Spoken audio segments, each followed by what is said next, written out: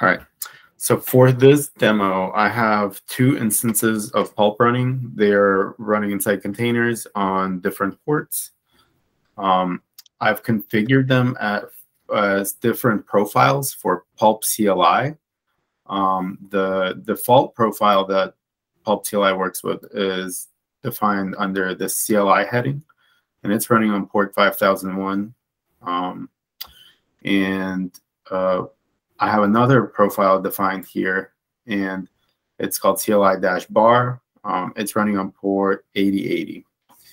And right now, let's take a look at the content that's being served by both of them.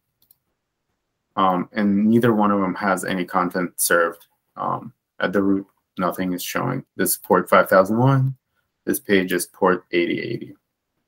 So then let's create uh, a remote. Um, yeah, so I'm creating a file remote and I'm pointing it to this URL here. Um, then, and I'm creating this on the pulp they're running on port 5001. Um, so then I'm going to create a repository um, I'm uh, creating a repository that is going to be um, tied to this remote that I created earlier. Um, and it's going to auto-publish. Then I'm going to create a distribution.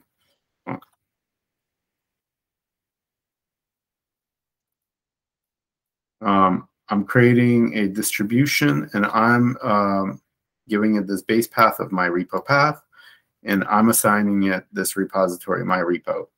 And this uh, will allow the auto publish feature to make um, any new versions and publications that get created from those versions to be automatically distributed at this distribution.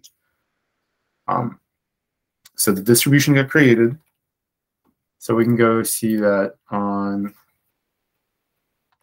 on here we have my repo path and right now there's still no content in it because nothing got synced. Um, and this pulp still doesn't have any distributions. Um, so let's sync this repository. And because it has a remote associated with it, I don't need to specify the remote on this command. All right, so the sync occurred.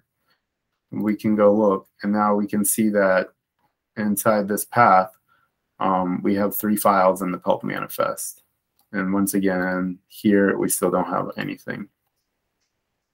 Um, so now I can uh, run this new command uh, that's pulp file repository replicate. And what I specify here is the name of the repository that I want to replicate. Um, and I specify a replica profile. Um, and so this command is going to uh, create a remote on the replica pulp that's pointing to the distribution on the main pulp. And it's going to create a repository and a distribution. Um, the repository will have auto-publish enabled. And then after that, it's going to perform a sync. And I have the debug logging enabled right now. So that command did all that. And now we have the same distribution available on port 8080, the other pulp, and all the same files are there. Uh, the assumption uh, that this command makes is that each repository only has one distribution associated with it, and it actually performs some um, assertions that that's the case. Um, and that's all for my demo. Thanks a bunch, Dennis.